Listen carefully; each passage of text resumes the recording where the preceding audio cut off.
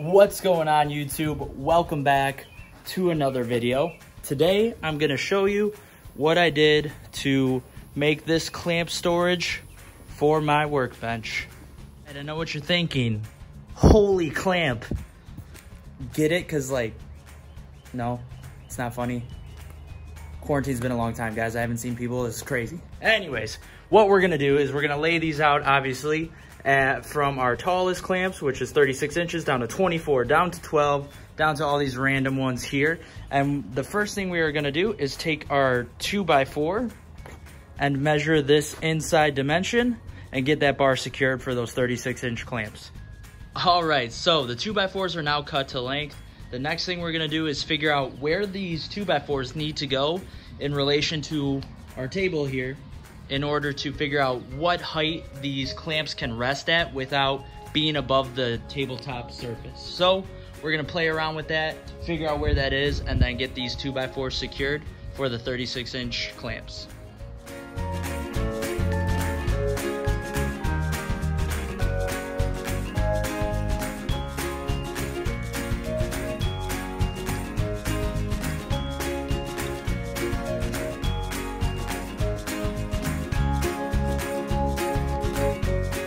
Now that we got our horizontal brace in there, the next thing we need to do is cut the pieces that these two clamps will actually rest on. Uh, they measure as is about three inches wide when you have both of them together. So I'm gonna cut these at about three and a half inches just to make sure I'll be able to easily rest both uh, clamps on the one rack.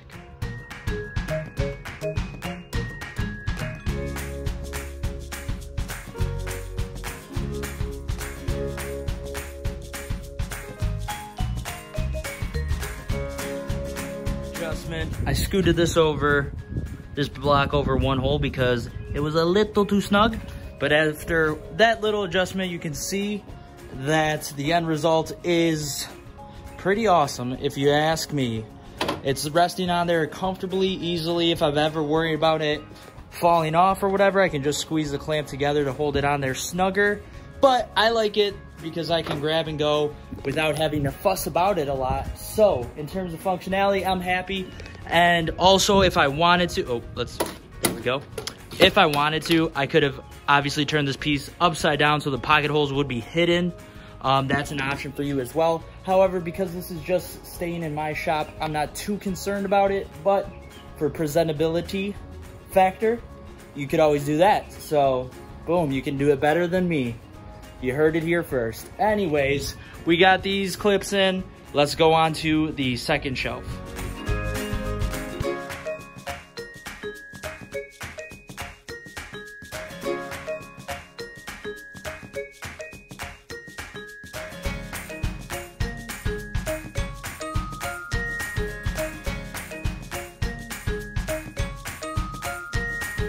Shelves one, shelf two, or rack one and two, whatever, whatever your preferred lingo is, are done. We are now on to rack slash shelf trace.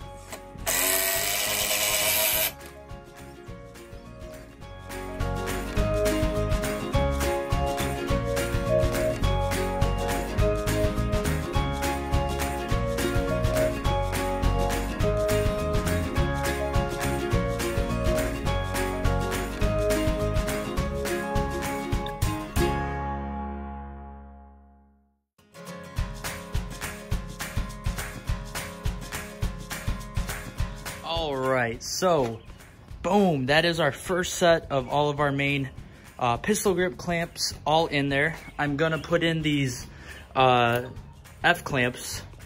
I'm gonna put my longer set, which is right back there. I think I'm gonna fill that in this gap right here.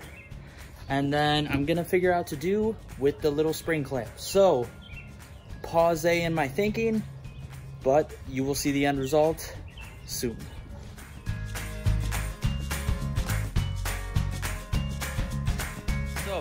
All we did was again pocket hole one screw into there.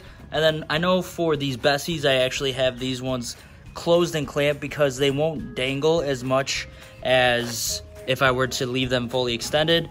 And I have them on there just enough where they take shape, but they can still slide on and off. Super easy, but that is one pair of Bessey clamps down. We still have the other one to go. Like I said, for these spring clamps, what I decided I'm gonna do is have them go on the side, uh, the side here, so that one dedicated side is made for all the clamps. So what I plan to do is take more two by four and chop it down to the correct length to be able to house each of these different sizes on one single piece of two by four. So we're gonna get that started right now. Now we have one done, two done, and three, and four. So we got all four of our clips in on this side. Now the next thing I'm gonna do is actually put uh, the Bessey clamp, my last set of Bessey clamps right there, uh, on the top shelf here, or on the top of this side of the workbench. And then I'm gonna figure out what to do with these last three because as you can see, we have very tiny holes to work with and I want to make sure I do this as good as I can. I don't have any dowels or anything like that. So it might take me a second to mock something up real quick, but we are gonna get it figured out. All right guys, so here's a mock-up of what I'm gonna do for the last three clamps as a way to save space. I'm gonna nail gun these little mini dowels I made into that half of one by four, and that way I can just secure the one by four into the two by four, and you know, as I need to in the future, I can take this out, move it around, and do whatever. So it leaves me some options for the future, and that's what we're going for because we're building for the future. So anyways, that's what we're gonna do that's how we're gonna finish this up.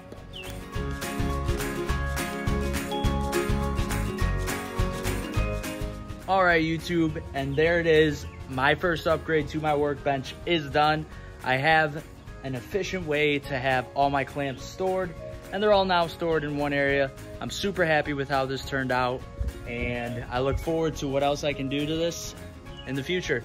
Thank you so much for watching. Please like the video, hit subscribe, hit your notification bell, and leave a comment, any suggestions, what else can I do to make this bench better, or anything I can do to improve my clamp storage. As always, don't forget to keep God number one. Thank you so much. God bless.